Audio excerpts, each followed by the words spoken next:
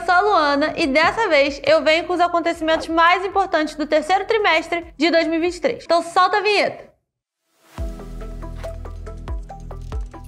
A bola da vez está aqui no Brasil e a gente tem tudo para ser um dos líderes globais do mercado de carbono. Isso porque a gente se destaca pelo potencial da nossa matriz energética, das áreas verdes e da nossa enorme biodiversidade. Mas para competir no mundo, o país ainda precisa melhorar sua infraestrutura, tornando as redes de crédito de carbono eficientes e acessíveis e principalmente regulamentar o comércio de carbono. Hoje já temos um forte mercado voluntário, mas só agora tivemos a aprovação no Senado do projeto de lei para regulamentar o mercado de carbono no Brasil e criar o Sistema Brasileiro de Comércio de Emissões de Gases de Efeito Estufa. O que, que isso quer dizer? Significa que agora as empresas terão um espaço regulado e com segurança jurídica para comercializar os créditos de carbono, além dos limites anuais de emissão estabelecidos por lei. Essas regras vão valer para empresas, organizações e pessoas que produzem mais de 10 mil toneladas de poluição por ano. Elas terão que provar que estão reduzindo a poluição e, se não fizerem, podem ser punidas, podendo ter suas atividades suspensas e perder benefícios fiscais. Será desenvolvido um certificado que comprova a redução das emissões de uma empresa, que é o que vai possibilitar a venda de créditos de carbono.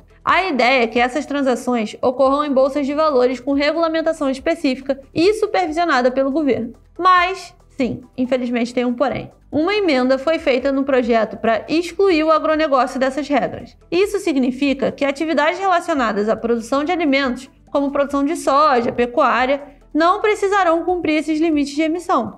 E vale lembrar que uma das principais fontes de emissão do carbono no Brasil vem justamente das atividades de agropecuária e do desmatamento. A justificativa para essa exclusão é que as emissões do setor agropecuário são difíceis de quantificar. O projeto vai para a Câmara dos Deputados para ser discutido e a gente vai acompanhar como isso vai evoluir e como que isso pode nos colocar mais ainda na frente do debate da transição verde. Ainda no Brasil, a cúpula da Amazônia anunciou o aporte de 4,5 bilhões em crédito verde para a região. Esse valor é assegurado por meio de um acordo lançado pelo BNDES e o BID, juntamente com outros 17 bancos de desenvolvimento dos países amazônicos, para impulsionar o desenvolvimento sustentável local. Você já viu que acompanhar todas as novidades do mercado financeiro dá trabalho, mas a gente está aqui para te ajudar. Então você já sabe, se inscreve no canal e ativa o sininho porque toda semana tem novidade aqui. E não esquece de deixar aquele like que ajuda muito a gente. E para pegar aquele resumão, basta ficar de olho que sempre tem uma retrospectiva trimestral para que você não precise esperar o ano inteiro para saber os principais acontecimentos do setor. Então, eu vou ficando por aqui e a gente se vê na próxima.